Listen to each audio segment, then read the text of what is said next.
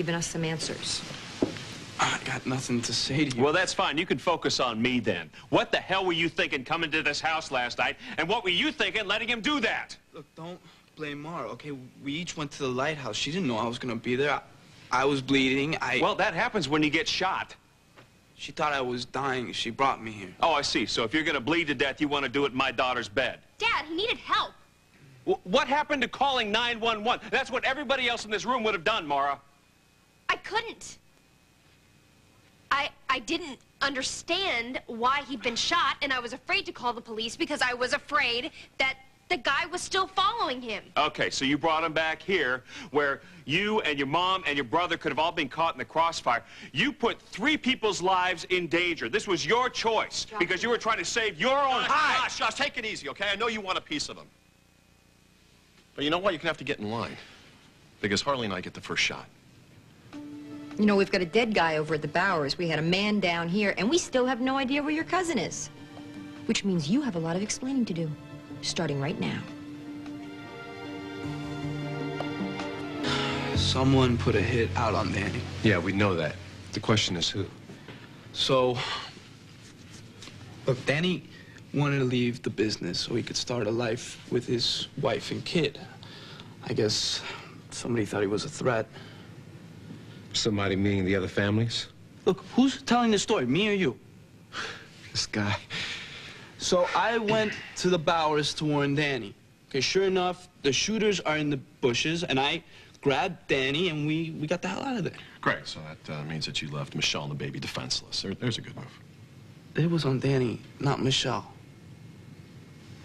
And so, on the way to the car from the house, they fired, and I got clipped. I don't suppose you shot back here, huh? I don't remember. Okay, then what happened? What Now, well, hold on one second. Let, let, let's go back for a second here. So, who's the stiff that we found at the Bauer's? Stiff, I, I don't know, maybe one of the shooters. I see. And uh, did you maybe want to take a guess as to how they died? Maybe his buddy shot him. I don't know. Yeah, I'm sure that was it. Okay, after you and Danny navigated your way safely to the car, what happened next? I drove like Mario Andretti. What do you think? And then the other shooter just happened to follow you. Yeah, till, till I lost him.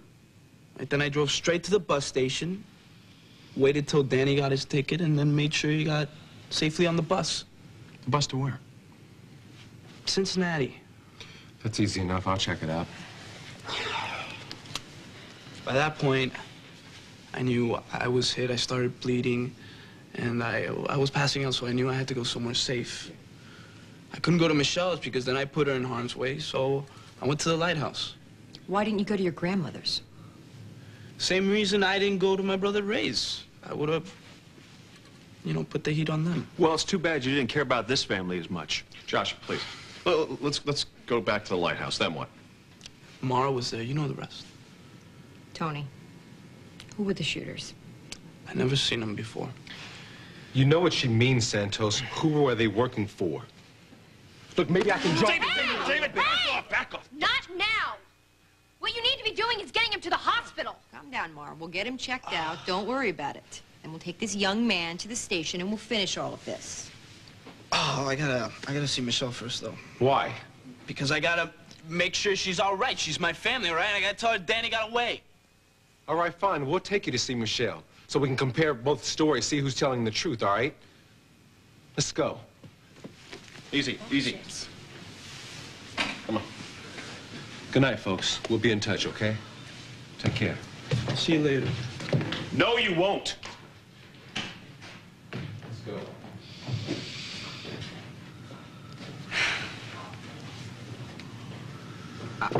Are they gone? Yes, they're gone. It's just family now.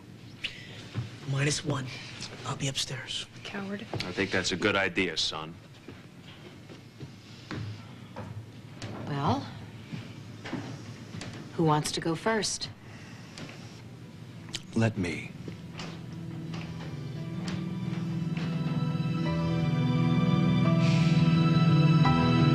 I don't even know where to start, Marah. H how many times have you and me and your mom had this very same conversation, huh? How many times? Too many. Yes, too many times, Marah. So how many more times are we going to have it before you understand that trouble follows Tony Santos around? What can I do to make you understand that? You don't. have to do anything. I get it. You get what, Marah? I get why you and Dad are so upset. You know, something terrible happened here last night. You were scared to death, and so was I, and you guys that think that it's Tony's fault. Well, that's because it is Tony's fault. Even though the whole reason I went to the lighthouse in the first place was to say goodbye to Tony in my head because I needed to get over him. We we saw each other there. We were back together. I bring him over here. And like you said, trouble followed. And you think that that's because Tony's Tony. I understand your point of view. Probably for the first time. That's good. And I'm I'm really sorry if I've caused you guys any pain or trouble. Marah, it's good. It is good.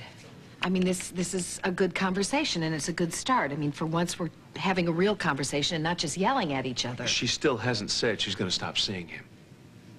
That's because I won't. I love Tony. And I want to be with him now more than ever. Marah, an armed man broke into this house last night and almost killed your mom. Do you understand that? And you just said that, that you wanted to get over Tony so you could move on. That was before. Because he kept pushing me away and he hurt it hurt me so bad I couldn't bear it. But now I know why. It's because he knew that this whole thing was going down with Danny and he, and he was trying to keep me safe. But he, he, he- didn't keep you safe, did he, Marah? It's not Tony's fault that I was at the lighthouse. But it's his fault that you ended up here. Dad, he was out of his head from pain and loss of blood. What did you want me to do? Leave him there to die? Marah, li- Can we listen just, to me now. This, Please just take a step back and calm down. I'm calm. There's nothing more to say. Tony spent the last few weeks doing everything he can, taking care of me. Not to mention Danny and Michelle. Maybe you guys can't respect him for that, but I can. And now that the danger is past, and there aren't any issues anymore, and I can see him again, I will. Where do you think you're going? You don't want to know.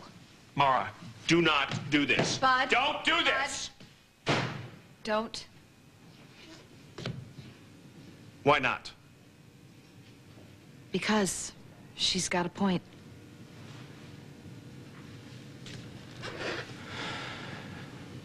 I think this is one of those times we need to cut Marah some slack. That would be condoning her relationship with Tony. That would be condoning this uh, uh, irresponsible behavior she's been. Joshua, she's almost 18. We can't keep having the same fight. Well, we wouldn't have to if she would listen to us. Well, that's the point. Pretty soon she won't have to listen to us. Pretty soon she'll be able to do whatever she wants to do.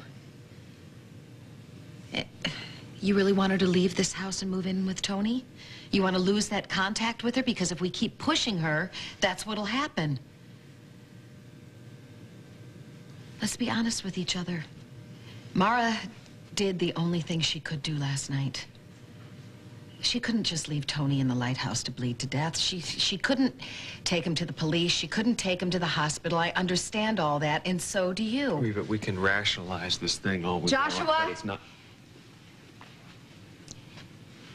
If Marah hadn't come downstairs when she did, if she hadn't have knocked that man out, I'd be dead right now.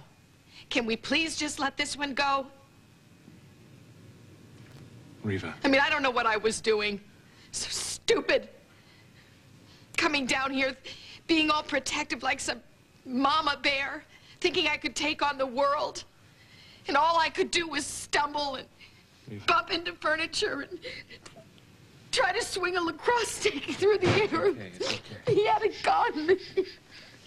Great. Noah, Yeah, yeah, remember me?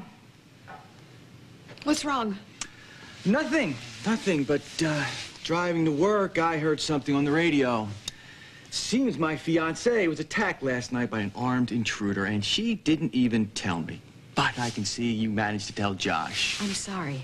I, I am. It, eh, it just all Excuse me, she called me because my daughter was involved. And when Marah's involved, I'm involved. So I noticed. And you always manage to make things worse.